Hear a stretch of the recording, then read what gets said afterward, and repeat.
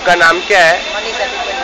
हाँ मनीषा? पीपलिया। पी आप कहाँ रहते हैं? मलाड ईस्ट में। आप मुंबई में कब से हो? हो आपके घर में कौन कौन है? मेरे दो बच्चे हो हो। आप क्या काम करते हैं? कितने साल से काम कर रहे हैं खाना बनाने?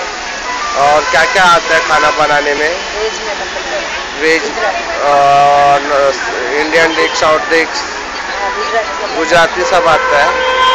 और आपके घर में और मतलब मतलब वहाँ जहाँ काम कर रहे थे वहाँ कर रहे हैं छोड़ दिए वो काम? अभी नहीं अभी कोई की कभी कभी जाती हो। और कितने साल का बच्चे का देख रेख कर सकते हैं?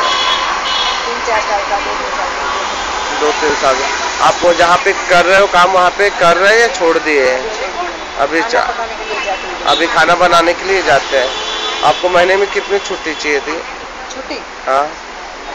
या हफ़्ते में एक कौन सा दिन चाहिए आपको छुट्टी? मतलब संडे के कभी कोई मेहमान आए